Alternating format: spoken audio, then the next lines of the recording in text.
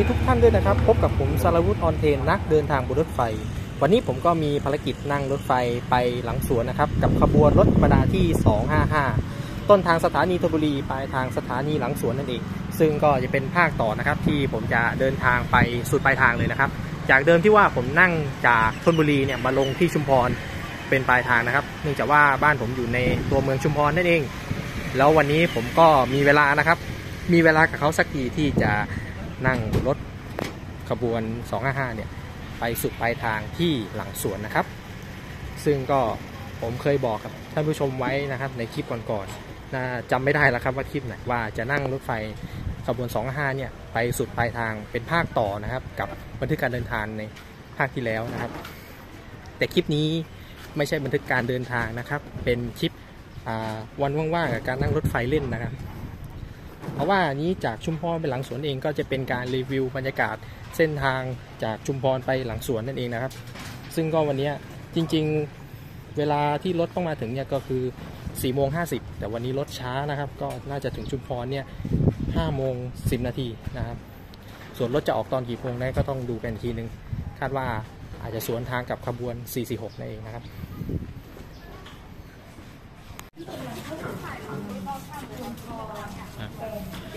วันนี้ผู้โดยสารที่ไปกับขบวน255นะครับ ก็มีค่อนข้างมากเลยนะครับ เนี่ยที่รอขึ้นที่ชุมพรนะครับ ปกติแล้วเนี่ยขบวน 255 นั้นจะถึงสถานีชุมพรเนี่ยเวลาเดิมเนี่ยสมัยที่ยังไม่มีการเดินเปิดรางคู่นะครับ ก็จะถึงชุมพรเนี่ย6โมง50นาทีนะครับ6โมงเย็น50นาที ก็จะเป็นเวลาช่วงที่ประมาณเลิกงานพอดีนะครับ ก็จะเป็นขบวนที่คนทำงานนะครับ เลิกงานก็มาขึ้นรถไฟกลับบ้านกันอะไรอย่างเงี้ยทันตลอดครับ แต่ว่าเดี๋ยวนี้เลิกถ้าใครเลิกงานหลังห้าโมงเย็นไปเนี่ยก็มีโอกาสที่จะไม่ทันนะครับ เพราะว่าขบวนรถก็มาไวนะครับ ปรับเวลาให้มาไวขึ้นนะครับ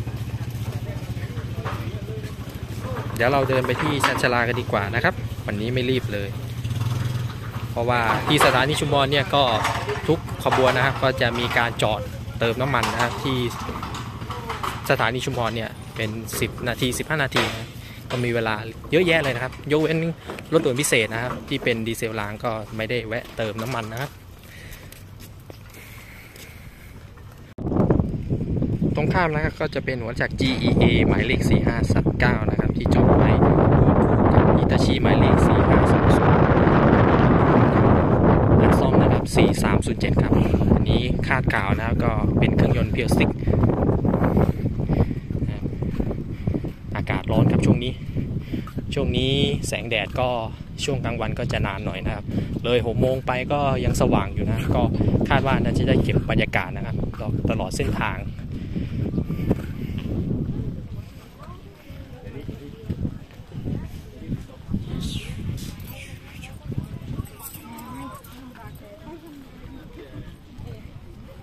คนแน่นกันเลยนะครับเนี่ยรอทั้งสองฝั่งยังกับขบวนรถเร็วรถด่วนเลยนะครับเนี่ยผู้โดยสารที่มารอนะครับนี่ขนาดเป็นขบวนรถธรรมดานะขบวน255นี่ถือว่าเป็นขบวนอีกหนึ่งขบวนนะครับที่ขวัญใจเลยนะครับสำหรับชาวชุมพรเลยนะครับ ที่จากคนในเมืองเนี่ยเที่ยวในเมืองเสร็จก็เดินทางกลับบ้านด้วยรถไฟนะครับ มาแล้วนะครับสำหรับขบวนรถธรรมดาที่255นะครับ ธนบุรีหลังสวนเข้าจอดในชันชลาที่ 4 นะครับทำกระบวนโดยหัวรถจักรอันสตอมนะครับ เดี๋ยวมาดูกันนะครับว่าเป็นหมายเลขอะไร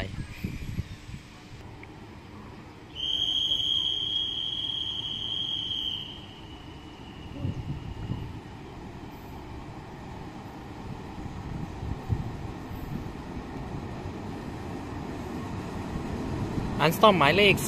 4227 นะครับ คาดแดงก็เครื่อง Caterpillar นะครับ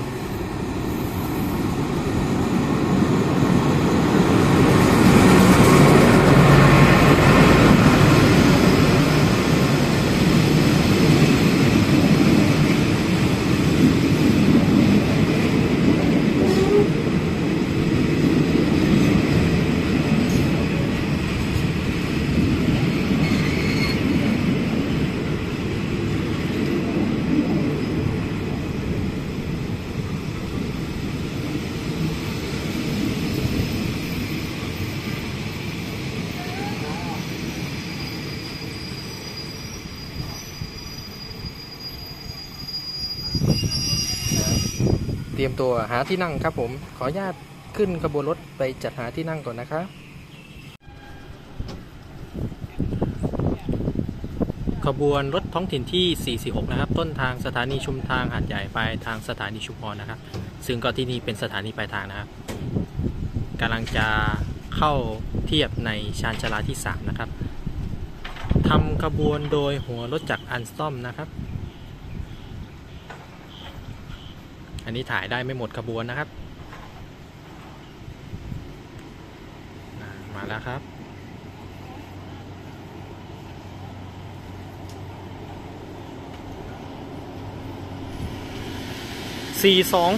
4204 ครับ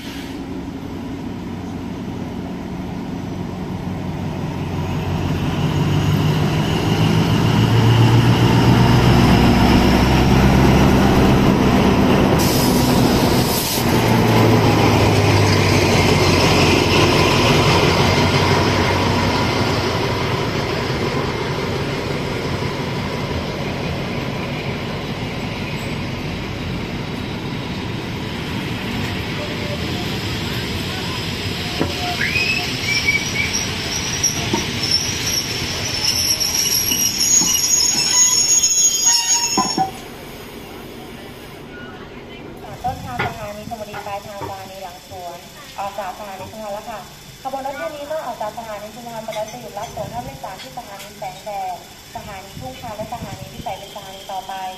สถานีชุมพรในนามของการรถไฟแห่งประเทศไทยขอขอบคุณท่านผู้โดยสารทุกท่านที่ใช้รถไฟเป็นยานพาหนะในการเดินทาง ขอให้ท่านสามารถเดินทางถึงจุดหมายปลายทางโดยสวัสดิภาพและสุขภาพแข็งแรงขอบคุณค่ะ นะครับ อ อกตัวแล้วครับสำหรับขบวนที่ 255 นะครับพอดีผมรอจังหวะถ่ายพอดีเลยนะครับหมูสามรสจ้ายี่สิบบาทจ้านี่ก็จะเป็นในรอบ 3 เดือนเลยนะครับ ที่ได้นั่งรถไฟไปต่างที่บ้างนะครับจากที่ไม่ได้ไปไหนเลยนะครับนะครับ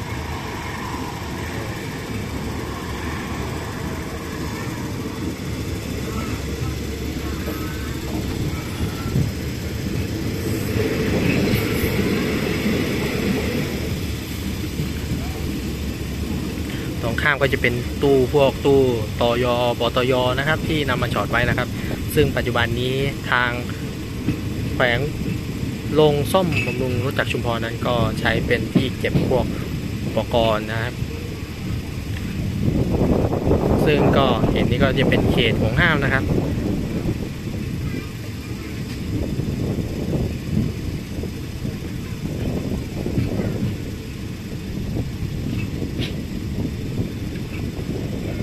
นี้ผมต้องขออนุญาตเนี่ยถ่ายฝั่งนี้นะครับฝั่งขวา ซึ่งก็ปกติแล้วฝั่งขวาก็จะเป็นฝั่งประจำของผมนะครับ แต่ว่าตอนออกจากสถานีชุมพรไม่เห็นตัวอาคารสถานีสักเท่าไหร่นะครับ ก็เปลี่ยนบรรยากาศมาดูฝั่งนึงกันบ้างนะ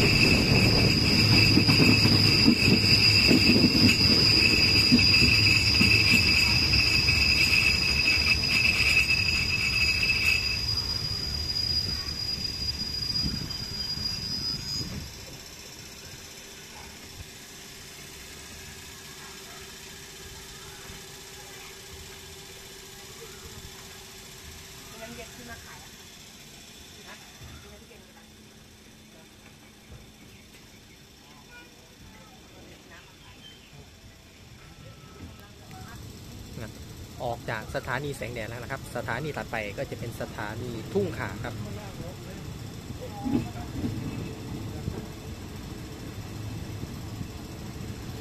ที่ที่ต้องหยุดคลิปเพราะว่าเปลี่ยนมุมกล้องนะครับ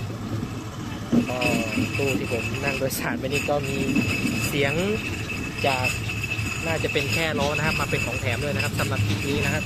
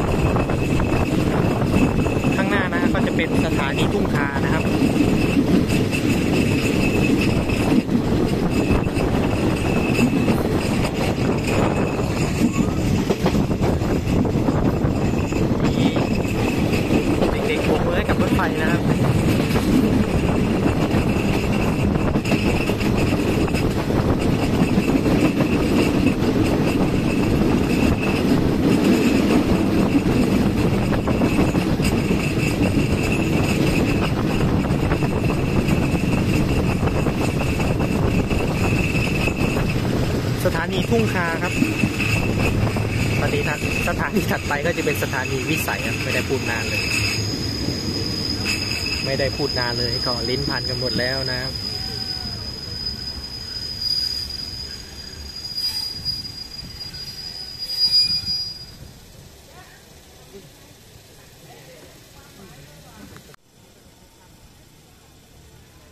กำลังจองจากสถานีทุ่งคาแล้วนะครับ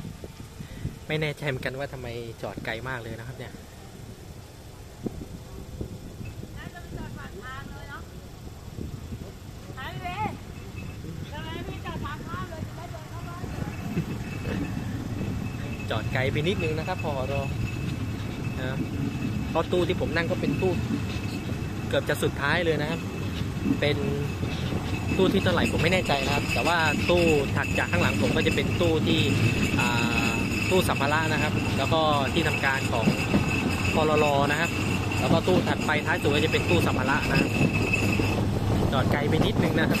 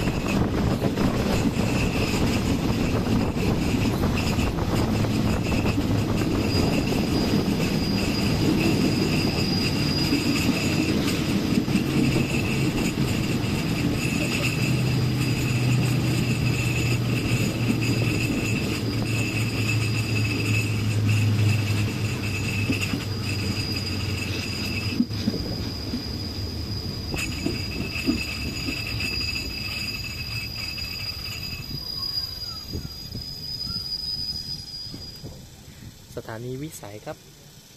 สถานีถัดไปก็จะเป็นสถานีสวีนะครับ ตัวอาคารสถานีวิสัยอยู่ฝั่งด้านด้านซ้ายนะครับ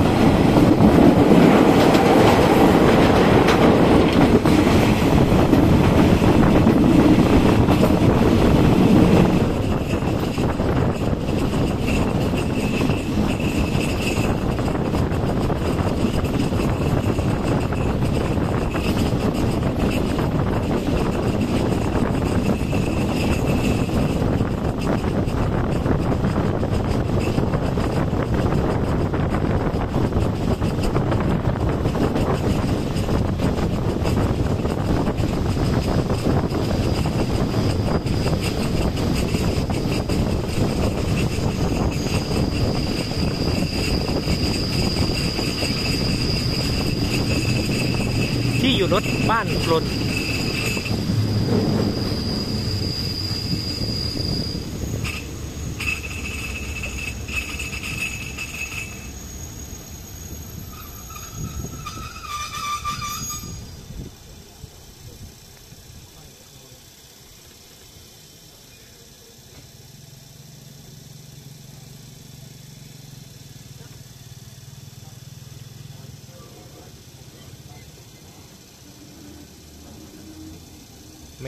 ยสารขึ้นและลงนะครับ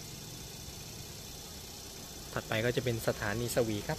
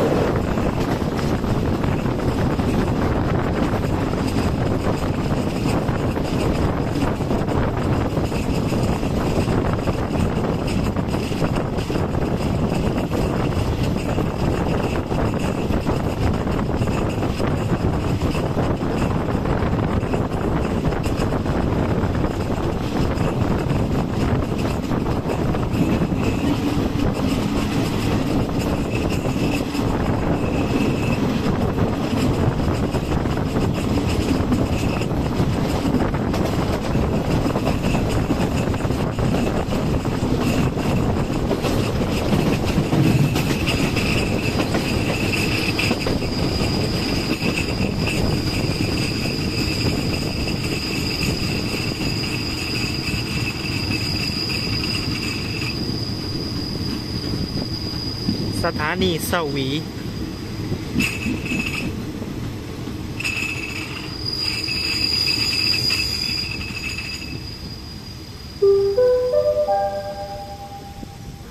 ท่านผู้โดยสารโปรดทราบที่นี่สถานีสวีที่นี่สถานีสวี ท่านผู้โดยสารมีความประสงค์จะลงสถานีสวีก่อนท่านลงจากขบวนรถโปรดตรวจสอบสิ่งของและสัมภาระของท่านที่นำติดตัวมานำลงให้ถูกต้องและครบถ้วนด้วยค่ะ ขบวนรถที่จอดเทียบชันชาลาที่หนึ่งขณะนี้เป็นขบวนรถธรรมดาที่ 255 รับส่งผู้โดยสารต้นทางสถานีคนบุรีปลายทางสถานีหลังสวน ขบวนรถเที่ยวนี้เมื่อออกจากสถานีสวีไปแล้ว จะหยุดรับส่งผู้โดยสารที่สถานีเขาสวนทุเรียน ป้ายหยุดรถเขาปีนสถานีปากตะโก เป็นสถานีต่อไปค่ะ สถานีสวีในนามของการรถไฟแห่งประเทศไทย อขอบคุณท่านผู้โดยสารทุกท่านที่ใช้บริการรถไฟ เป็นยานพาหนะในการเดินทาง ขอให้ท่านผู้โดยสารเดินทางสู่จุดหมายปลายทางโดยสวัสดิภาพ และประสบแต่โชคดี ขอขอบคุณค่ะเสียงประกาศที่สถานีสวีนะครับก็จะเป็นประกาศที่ทางสถานีประกาศเองนะครับ ไม่ได้ใช้ตัว AI นะครับประกาศ แล้วก็เสียงที่เป็นสัญลักษณ์ว่าจะประกาศเนี่ยก็ จะคล้ายๆแบบเดียวกันกับที่ใช้ที่หัวลำโพงเลยนะครับ ที่สถานีกรุงเทพหัวลำโพงนะครับเสียงจะคล้าย ๆกันเลยนะครับครับ ประกาศเสร็จก็ออกจากสถานีสวีนะครับ สถานีถัดไปก็จะเป็นสถานีเขาสูงทุเรียนนะครับ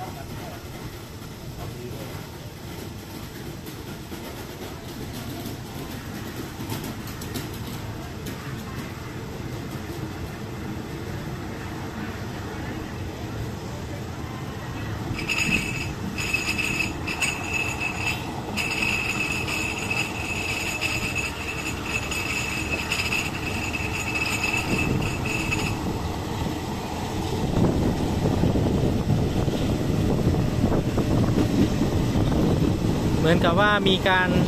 ต่อเติมทำพื้นชันชลาเพิ่มนะครับ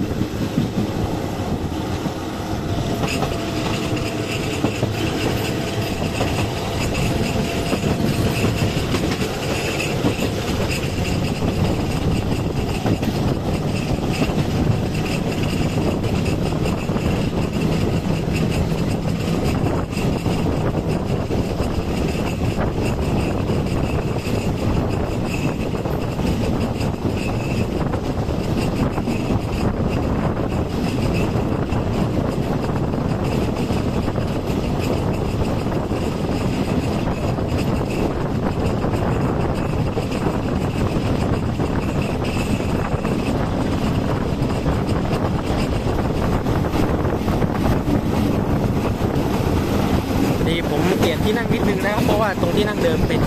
มีมันมีเสียงดังอยู่ตลอดเวลา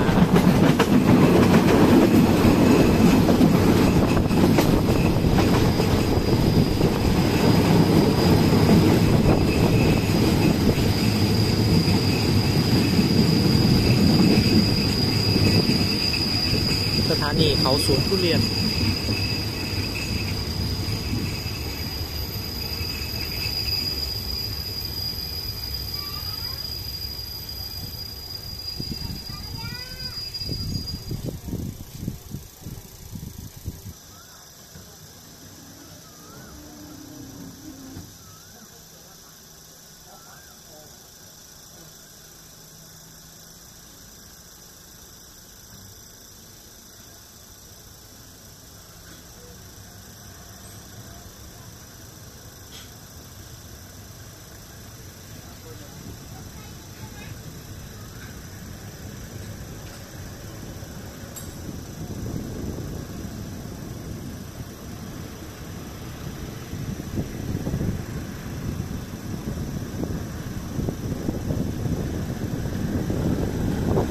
ออก นีเขาสวนทุเรียนนะครับ ถัดไปก็จะเป็นป้ายอยู่รถเขาปีบแล้วก็สถานีปากตะโกครับ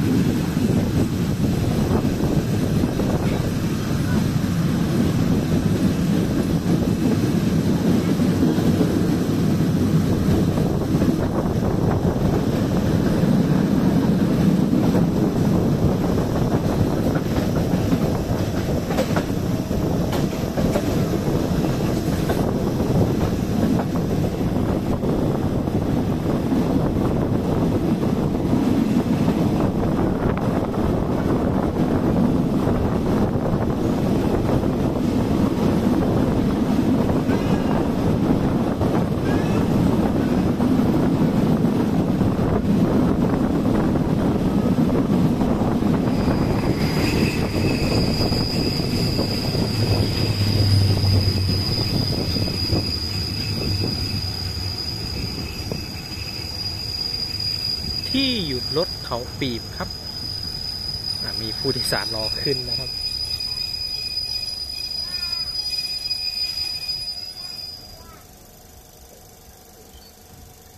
แล้วก็มีผู้โดยสารลงด้วยนะครับ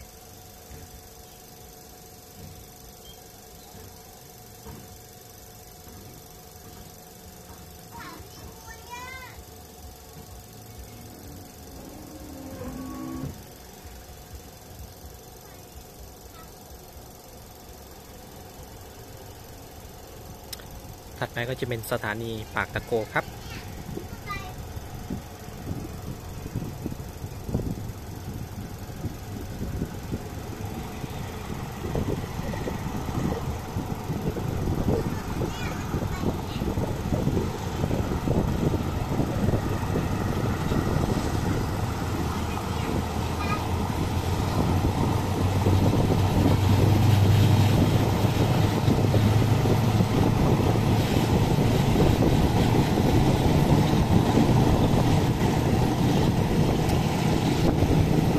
ด้านหน้าอีกฝั่งหนึ่งของตัวรถนะครับ ผมไม่สามารถไปถ่ายได้นะครับ เนื่องจากว่ามี เจ้าหน้าที่เขา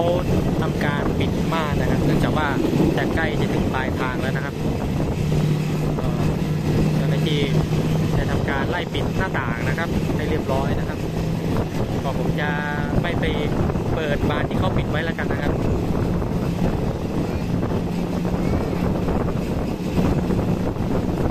ถ่ายแค่ฝั่งนี้ฝั่งเดียวนะครับ สถานีถ้าอยู่อีกฝั่งหนึ่งก็ต้องขออภัยด้วยนะครับ แต่ถ้าเกิดว่า ล้ถึงปลายทางแล้วเนี่ย เดี๋ยวผมต้องดูอีกทีนึงนะครับว่าสามารถไปถ่ายฝั่งได้หรือเปล่า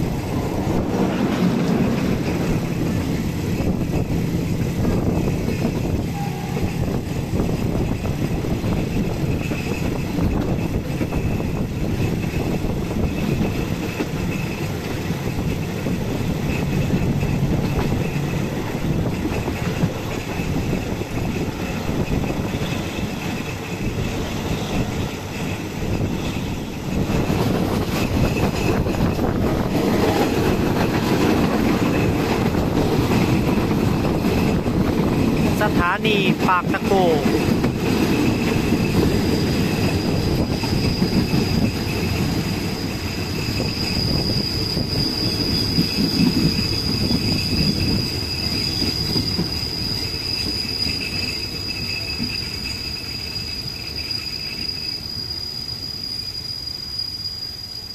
สถานีถัดไปเป็นสถานีควนหินมุ้ยนะครับ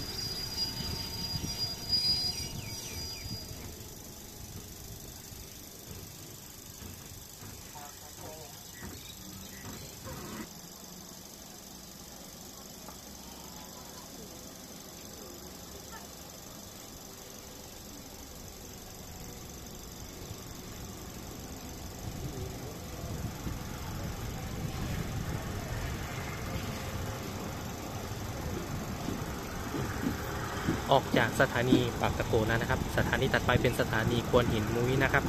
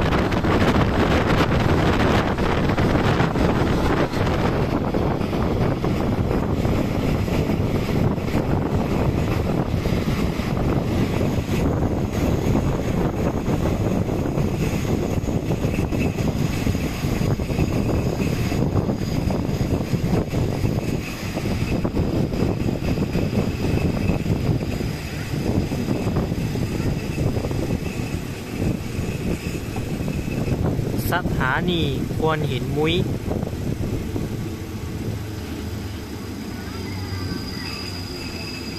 สถานีถัดไปก็จะเป็นสถานีหลังสวนแล้วนะครับ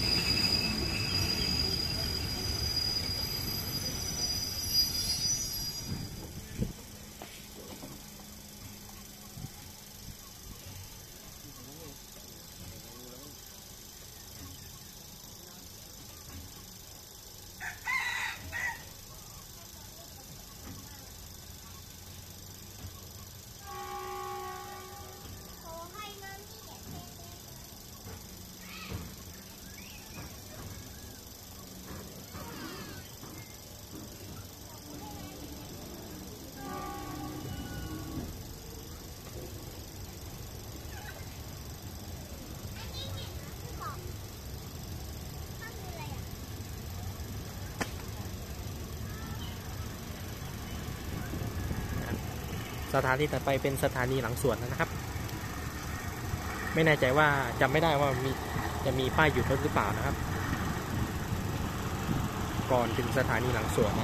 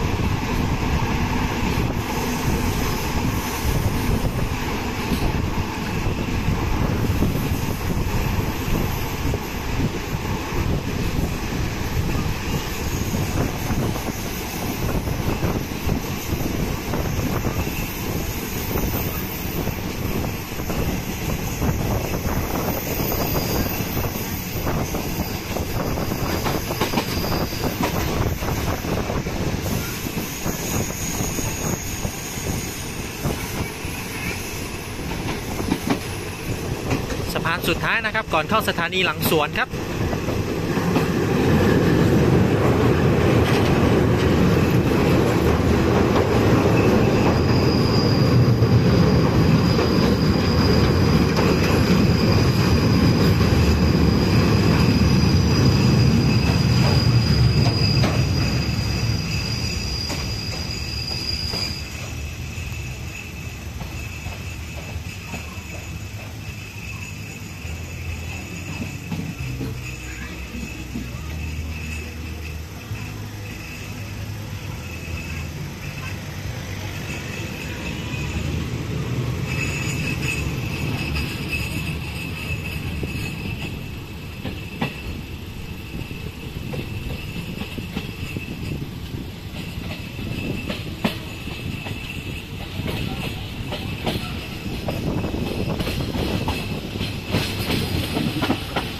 จอดในชันจราที่ 2 ครับ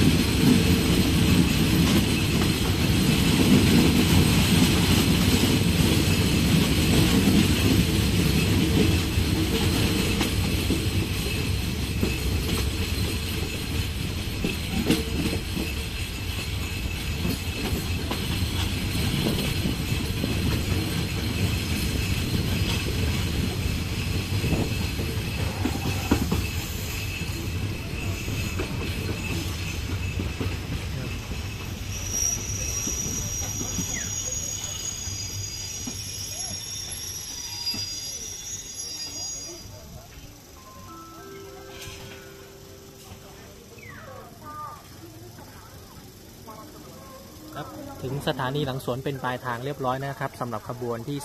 255นะครับวันนี้ผู้โดยสารก็กำลังทยอยลงจากขบวนรถอยู่นะครับ ซึ่งตัวผมเองก็ต้องรีบทยอยลงแล้วเช่นกันนะครับต้องเหินขึ้นฟ้าอีกแล้วนะครับต้องขออภัยด้วยนะครับ สถานีหลังสวนครับผม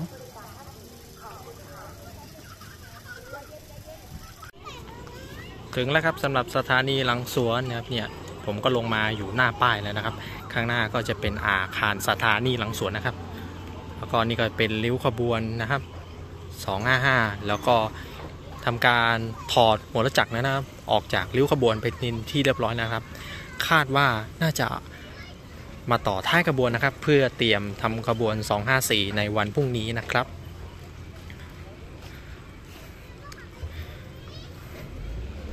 พาชมอาคารสถานีกันสักครู่นะครับ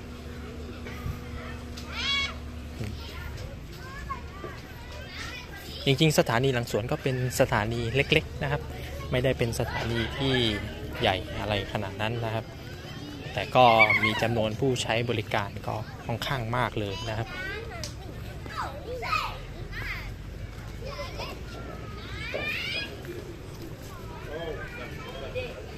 โน้นสวัสดีครับพี่ย้อย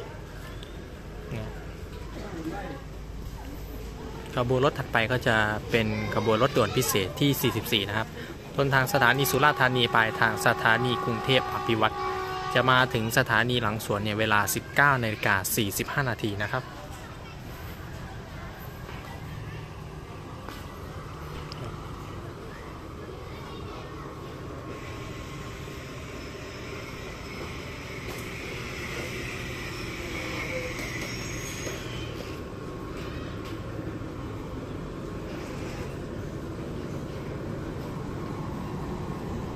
รถจักรก็ไปฝั่งหนึ่งแล้วนะครับ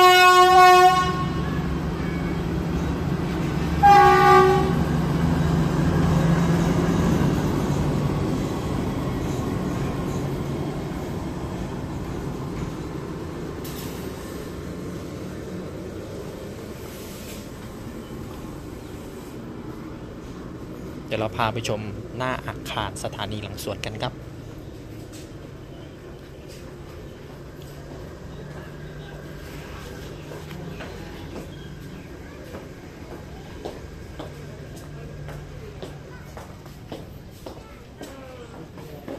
นี่ก็ จะเป็นจุดจำหน่ายตั๋วนะครับ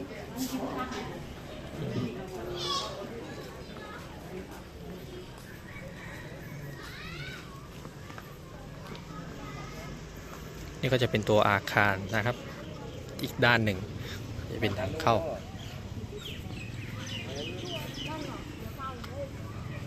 ครับลงไปก็จะเป็นทางเข้านะครับ ถนนที่มานะครับผมก็ ไม่ได้มีอะไรมากนะครับสำหรับสถานีหลังสวนนะครับ ก็เป็นสถานีเล็กๆนะครับ ไม่ได้มีอะไรเยอะแยะเลยนะครับ ผมก็รีวิวให้สั้นๆ เพียงเท่านี้นะครับผมสำหรับที่นี่นะครับ ขอจบคลิปเพียงเท่านี้นะครับ ผมสำหรับวันนี้นะครับ ที่นี่สถานีหลังสวนพบกับผมสลาวุธออนเทน นักเดินทางบนรถไฟได้อีกครับเร็วๆนี้นะครับขอบคุณที่ติดตามกันนะครับ